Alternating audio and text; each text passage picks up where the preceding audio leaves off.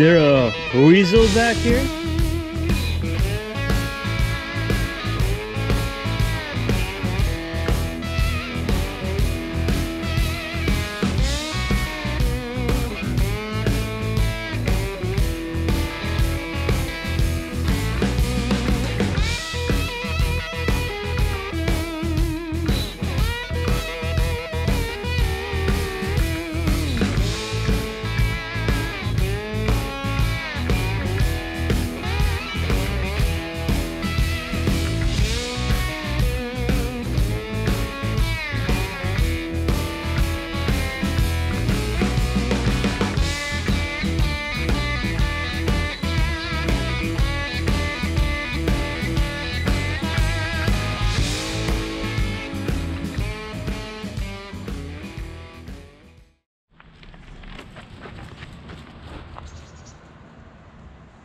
Good morning. Another new week is here. We had a fantastic weekend. It's time to get back to work. Today, we're going to take out the knuckle boom truck and bring some poles from Winnipeg down to Morden. The week can begin now. I'm exhausted. We had a busy weekend. I could have done with about uh, six more hours of sleep. uh,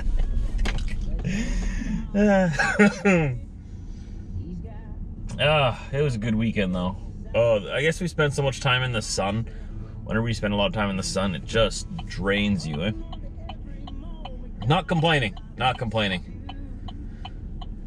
We'll catch up tonight. I'm feeling all right. I'm just. It's just Monday, you know. Like I said last Monday, uh, the first five days after the weekend are always the hardest. So before you know it, it'll be the weekend again. So yes, we are in the pickup this morning. Not going to take the motorcycle in today. Uh, the clouds are clearing up pretty quickly, but when I woke up, it was raining. And uh, I slept as long as I could. So uh, I'm a little bit more in a rush than usual. Not too bad, but I just hopped in the pickup and went, nah, whatever. We'll ride in tomorrow. Like I was telling you earlier, uh, today we take out the knuckle boom truck 3106. I have to take a pole trailer and go into Winnipeg, pick up a load of poles. I think they're going to load me with their crane there. And then I take those poles all the way out to Morden to a job site. And I'm going to have to use the claw and unload the poles at the job site there. The first time I'm doing this on my own since I was trained for it. I'm not nervous, but I'm pretty excited. Uh, it's something different, and I'm glad that uh, I'm broadening my skill set. Like I always say, I want to be as useful as possible. The more I know how to do, the more things they can get me to do. And when you say it like that, to a lazy person, that would be a bad thing, right? But I like to be uh, I like to be useful so that when I go to the yard and there's nothing to do for my regular work, like if there's no work to be done, well, hey, I can do other things too. Maybe there's work in other areas, in other places, in other departments.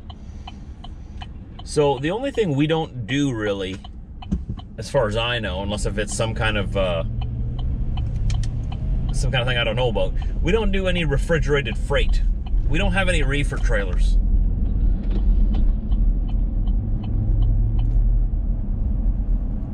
We have we have our fingers in almost everything else except reefers.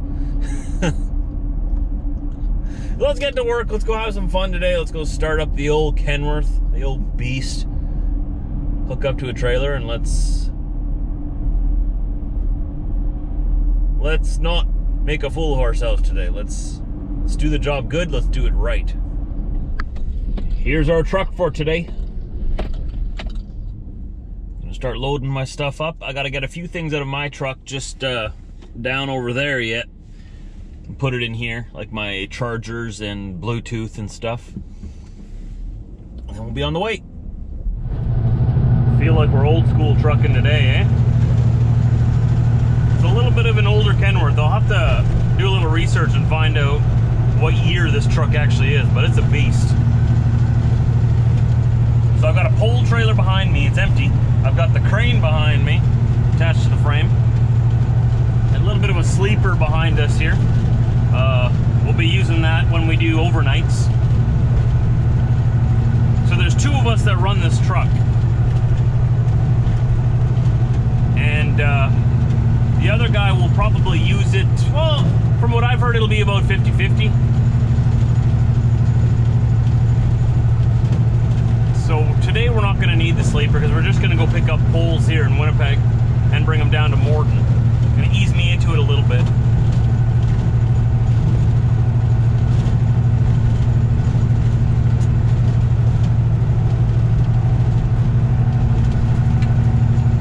Since this thing has a 20,000 pound front axle, you can really tell that it's uh, a little bit more of an aggressive stance. Can handle a lot more weight than a regular truck.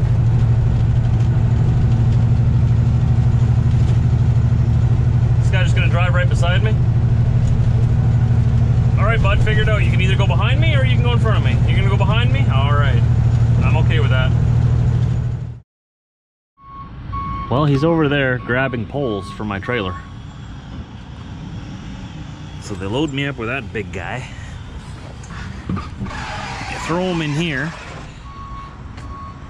And then I tie him down in here, and then when we get to the job site, or to the site where we're going, we unload it with this.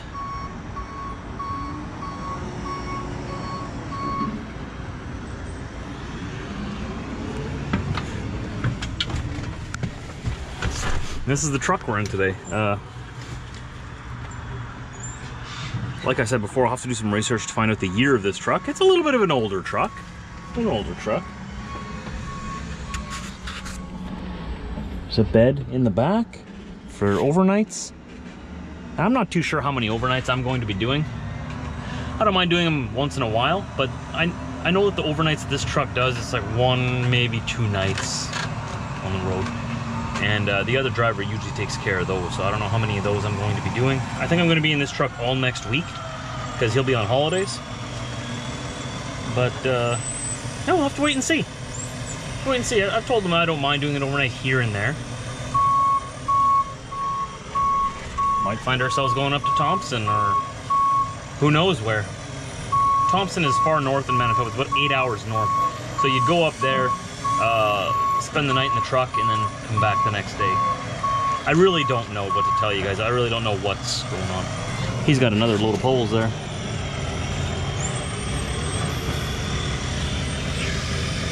Gonna throw it onto my trailer.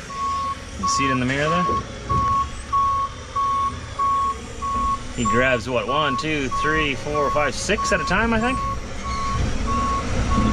Oh, yeah, you feel that for sure. Definitely feel that. That's a beast of a machine.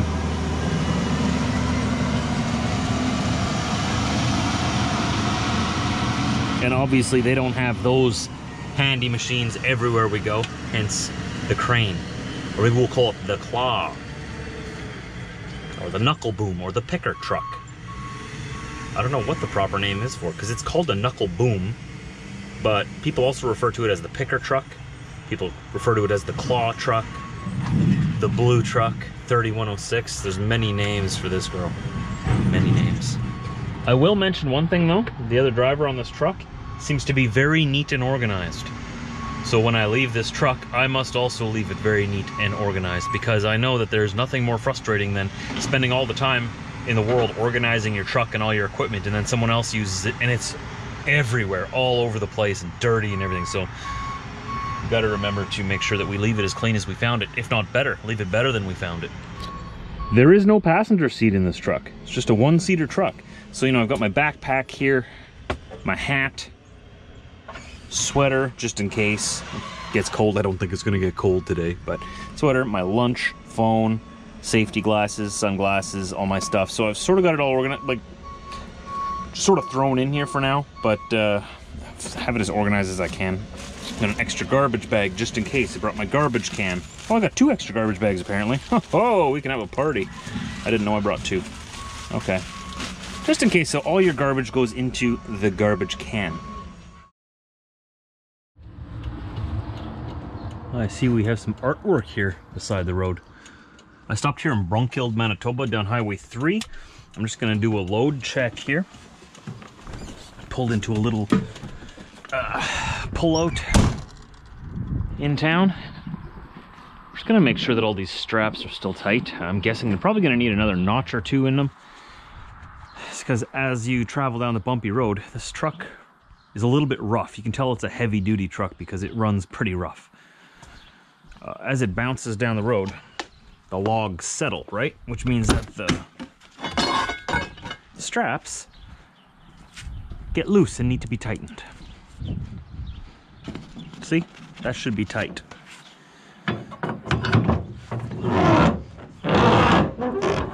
Stop. Took three notches. Yikes. And I already stopped in Oak Bluff once, about 20 minutes that way, to tighten them. So this is the second time I've stopped already. Took an extra two notches on that.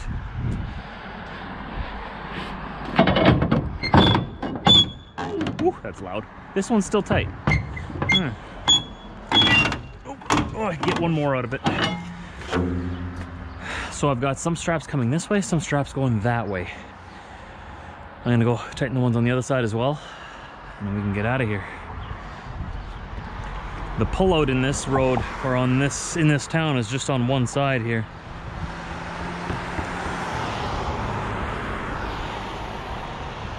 Oh, there's a truck coming, we'll wait for him. This is sort of like a little pull-out area here on this side. You can tell a lot of other drivers stop here to tighten up as well.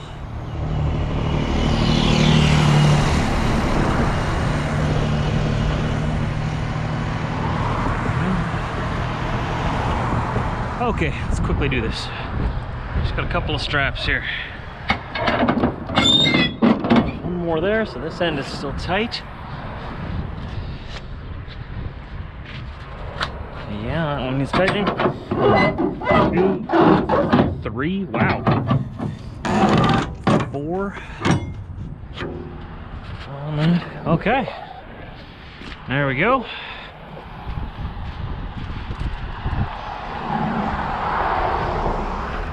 What's this doing here? I don't want to run this over.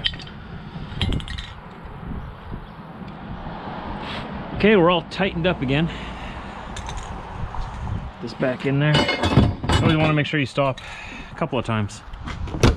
I stopped just outside of Winnipeg, which was probably about 10 minutes down the road, like I told you in Oak Bluff. Tightened it again, drove another 20 minutes down the road to Brunkild here. Tightened it again. I'll probably stop one more time before we get to Morden. Morden's about an hour away yet or so. Mm, give or take, maybe less than that from here. Just to make sure you... want to make sure everything's tight. And while you're out here, just make sure everything else is in order. I don't know why these bungees are here, but the other driver has put them there. I'm wondering if that's to stop this from opening on its own, but why would it open on its own? It has a latch. It was there, so uh, I don't know. All right. I don't like how this is all just cluttered here. I feel like I've got a lot of clutter, but eh, just in case. Just in case. And back there, I haven't gone back there yet. I, I have no reason to go back there, but it's just a small little sleeper, just enough for one person to, you know, get some rest on the road. And I guess the other guy's got a garbage bag over the back window because there's no curtain, obviously. So don't want that light shining in your face if you're trying to get some sleep in, during the day.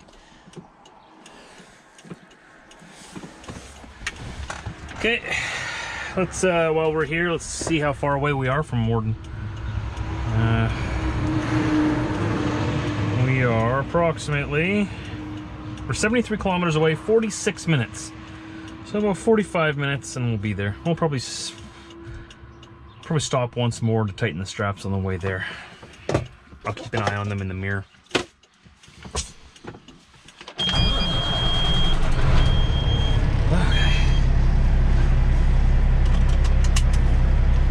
At least the air conditioning works in this truck. All right, to get back on the road now. These two vehicles here, and we'll drag our butts back on there.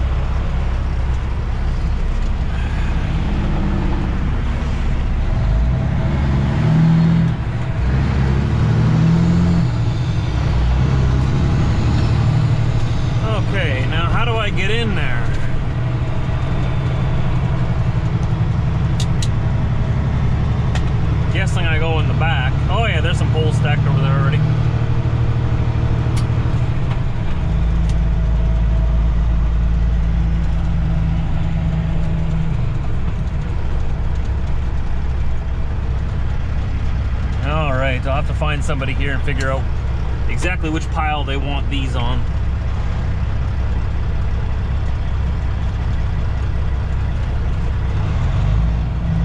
Get into the yard for now.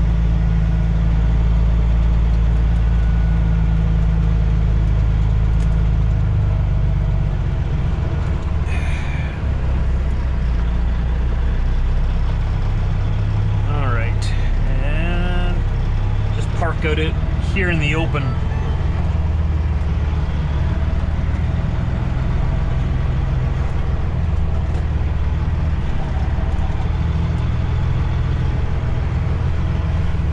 Pretty sure I'm gonna be unloading onto one of these piles here. I don't know if I gotta go in there or here, so let's go figure that out and then we'll get the crane set up, start unloading. The fun part.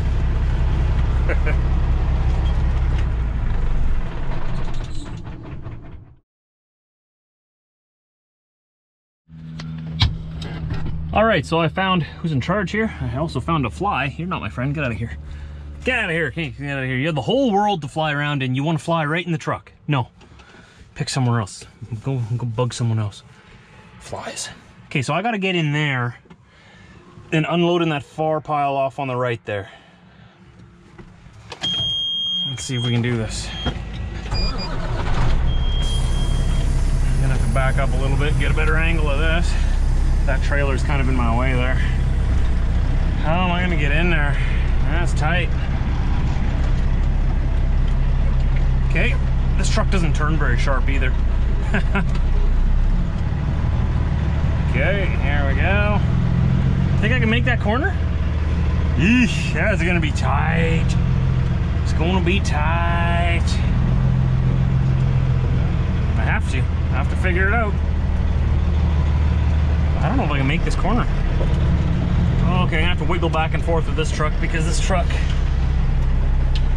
uh, has difficulty turning. I don't want to hit that little black utility trailer there. That's a terrible spot to park that. I just don't think I'm gonna make this. I really don't think I can get my trailer around this here.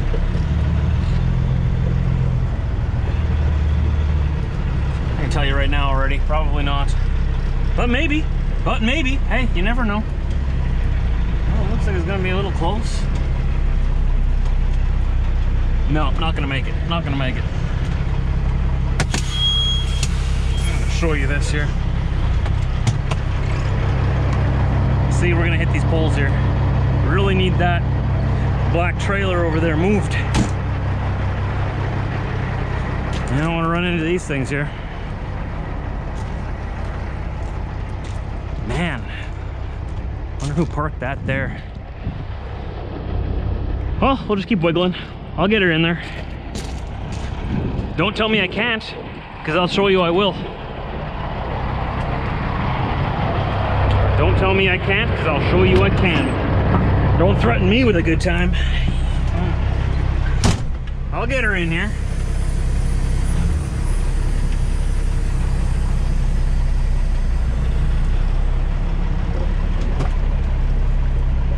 Let's see how close we can get here.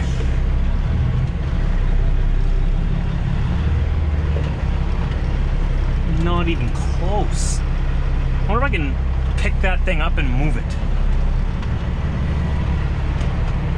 Uh, trailer's going to be in the way.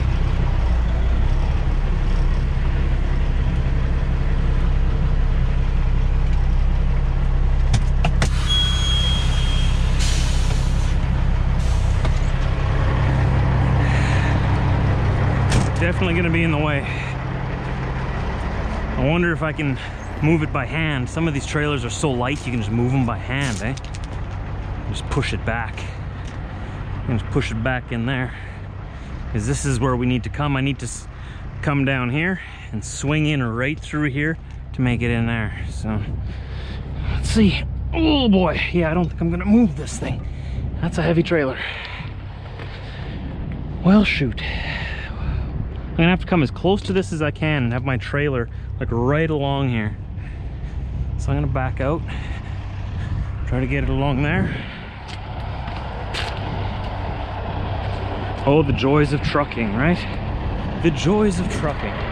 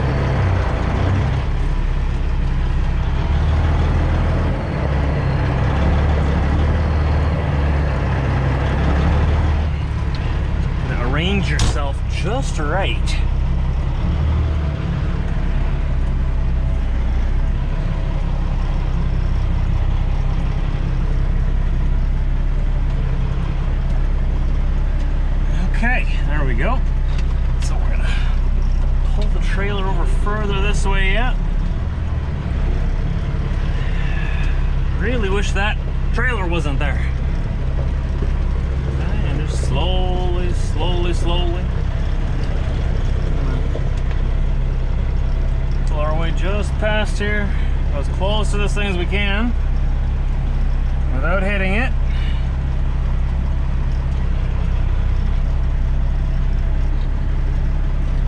See that there? Oh, don't hit it. Don't hit it. Just want to get close. Not too close, right?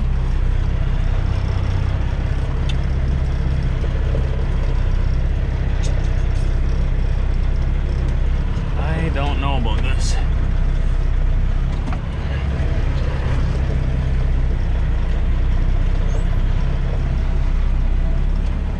There's a pole right there I don't want to hit. There it is, right there.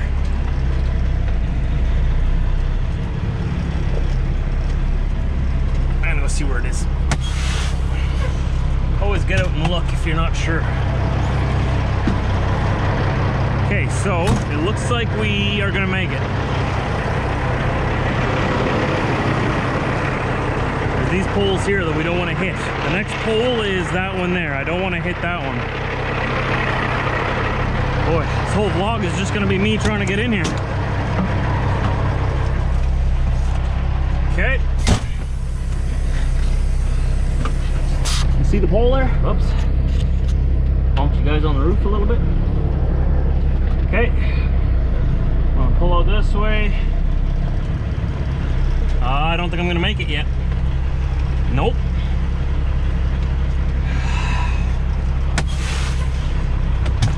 close am I to this pole now? Shoot. I don't know, man. I don't know. We're pretty much right up against here already. That's why it's very important to know exactly where your tires sit on the ground so that you can get close to objects like that. That was pretty close. Let's uh, slowly move forward. I'm not gonna make it. Well, after much wiggling, or much, much wiggling, finally got it in here. We're gonna put our logs on that pile right there.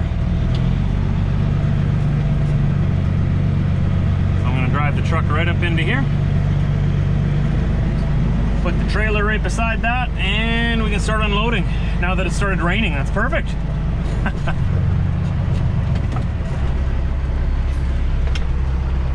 Okay, that should be good. Right about, right about there, I think.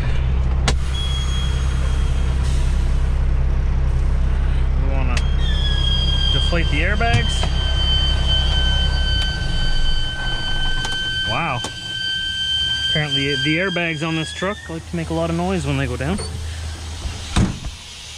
Okay, we're gonna deflate the air in the trailer as well so that we're working with a more stable surface here. I'm gonna climb up there and get these poles off. Well, I guess we gotta take the straps off first. You get it. You get it. Release the air in here. There we go. Make sure we're working with a if the air is in the suspension while you're taking the poles off, the trailer's all wobbly, right?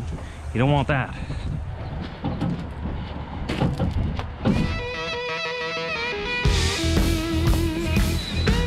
Is there a weasel back here?